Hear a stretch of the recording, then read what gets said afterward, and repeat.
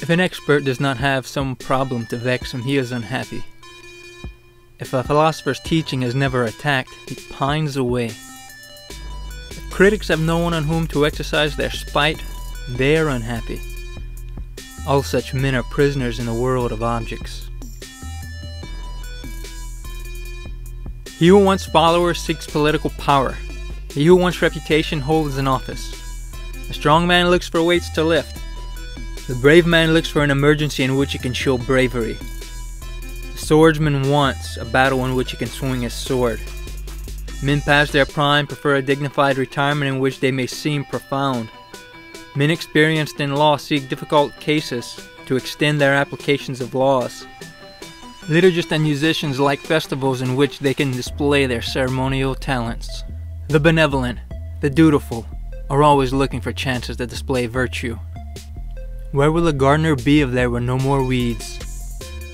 What will become of business without a market of fools?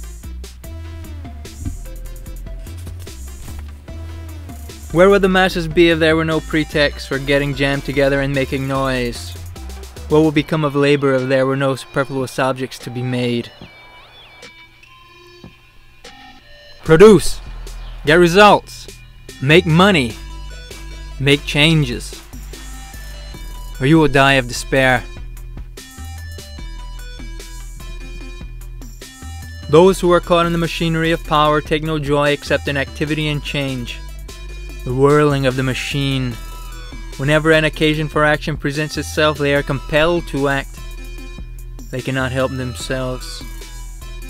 They are inexorably moved, like the machine on which they are a part, prisoners in the world of objects.